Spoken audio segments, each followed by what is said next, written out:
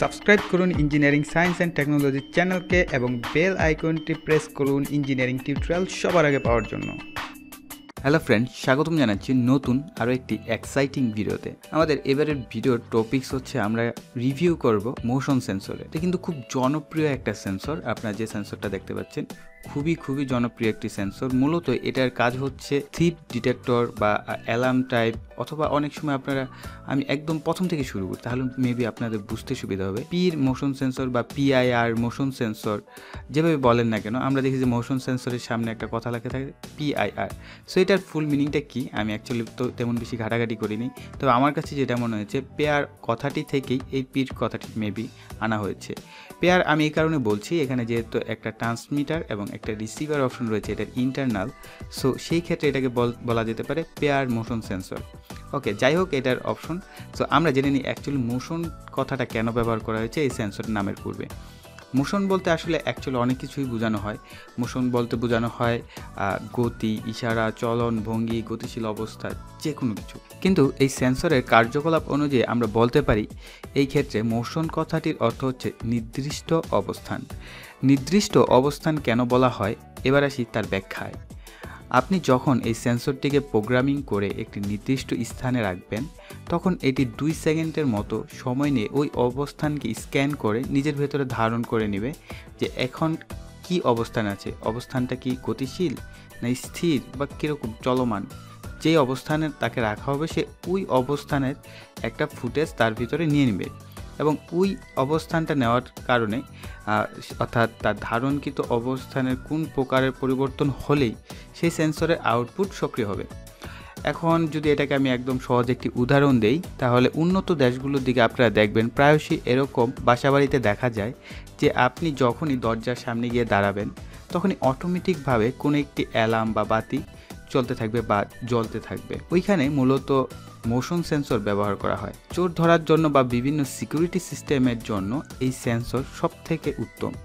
কারণ হচ্ছে, আমরা যদি সিকিউরিটি সিস্টেমে সিসি ক্যামেরা বা ইনফ্রারেড রে ইউজ করি, তাহলে চোর যদি চালাক হন, তাহলে ঠিকই বুঝে যাবেন যে CC camera IR sensor, indicator দেখে। কারণ আপনার প্রায়শই খেয়াল করবেন, সিসি ক্যামেরাটা যেখানে থাকে, সেখানে কিন্তু একটা আয়ার যে ইন্ডিকেটর থাকে সেন্সর, সেটা কিন্তু ব্লিঙ্কিং করতে থাকে। সো অন্ধকারে কিন্তু চোর বুঝতে পারবে হ্যাঁ এখানে কিন্তু এই ক্যামেরা সেট করা আছে সো আমাকে এটাকে অ্যাভয়েড করে চলতে হবে। যদি আমরা এখানে লেজার রোশনি ইউজ করি লেজারের সাহায্যেও কিন্তু আগে পূর্বে আমরা বিভিন্ন ইংলিশ মুভিতে দেখেছি যে লেজার রশ্মির সাহায্যে কী করে? তার সিকিউরিটি সিস্টেম তৈরি করে, তাই না? কিন্তু এটাও কিন্তু এক ধরনের গ্লাস পাওয়া যায়। সেই গ্লাসটা যদি আপনি ইউজ করেন, তাহলে কিন্তু আপনি দেখতে পাচ্ছেন যে লেজার রশ্মিগুলো কীভাবে যাচ্ছে, ঠিক আছে? সো এই অপশনটা তাহলে আমাদের বর্তমানে লেটেস্ট প্রজন্মে গ্রহণযোগ্য নয়।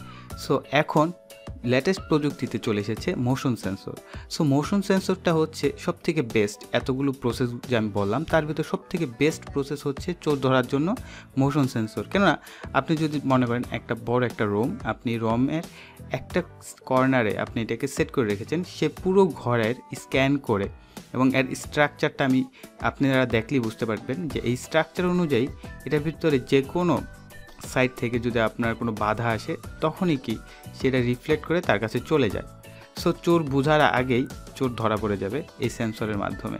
ঠিক আছে? সো এটার প্রোগ্রামিং নিয়ে আমরা পরবর্তী ভিডিওতে আলোচনা করব এবং আমরা প্রোগ্রামিং সম্পর্কেও জানব। তবে আমরা প্রোগ্রামিংটা এবার মাইক্রো কন্ট্রোলার দিয়ে নয়, আমরা এই প্রোগ্রামিংটা করব।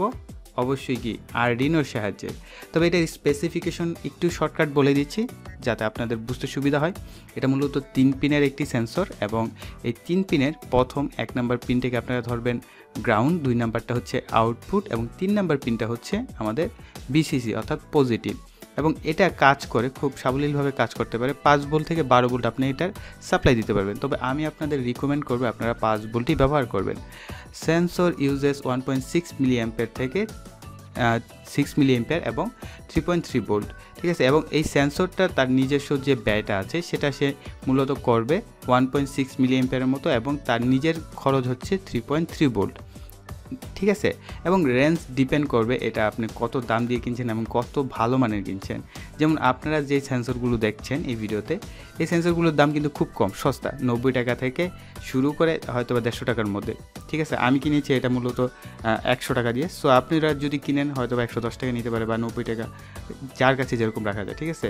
এবং এগুলো হচ্ছে শুধুমাত্র আপনারা যদি স্টুডেন্ট প্রজেক্ট করেন, তারাই কম দামিগুলো কিনবেন। কিন্তু আপনি যদি সিকিউরিটি সিস্টেমে ব্যবহার করেন সো ওই ক্ষেত্রে দুই হাজার, তিন হাজার টাকা দাম থেকে শুরু করে দশ হাজার, পনেরো হাজার টাকা দামেরও কিন্তু মোশন সেন্সর রয়েছে।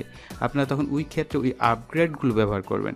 এগুলো হচ্ছে আপনারা জাস্ট এটার কাজ জানার জন্য একদম মিনি করে তারা তৈরি করেছে। যাতে আপনি বুঝতে পারেন অ্যাকচুয়ালি মোশন সেন্সর কাজ করে, তার জন্য। সো এই ভিডিওটি এই পর্যন্তই। আশা করি ভিডিওটি আপনাদের ভালো লাগছে। ভালো লাগলে অবশ্যই একটা লাইক দেবেন কমেন্টে আপনার প্রশ্ন থাকলে লিখবেন এবং ভিডিওটি শেয়ার করবেন ফ্রেন্ডস ফ্যামিলির সাথে। আর যারা এখনও আমাদের চ্যানেলটি সাবস্ক্রাইব করেনি চ্যানেলটিকে সাবস্ক্রাইব করে রাখুন পরবর্তী ভিডিও পাওয়ার জন্য এবং অবশ্যই পাশে থেকে বেল আইকনটি অ্যাক্টিভ করে রাখবেন। কেননা পরবর্তী ভিডিওটা হচ্ছে প্রোগ্রামের উপর এবং খুবই জটিল একটা প্রোগ্রাম এবং খুব ইন্টারেস্টিং একটা প্রোগ্রাম খুবই এনজয় করবেন। সো সাবস্ক্রাইব এবং বেল আইকনটা অ্যাক্টিভ রাখতে হবে। সো এই বলে এখানে বিদায় নিচ্ছি। সকলে ভালো থাকবেন সুস্থ থাকবেন। টাটা।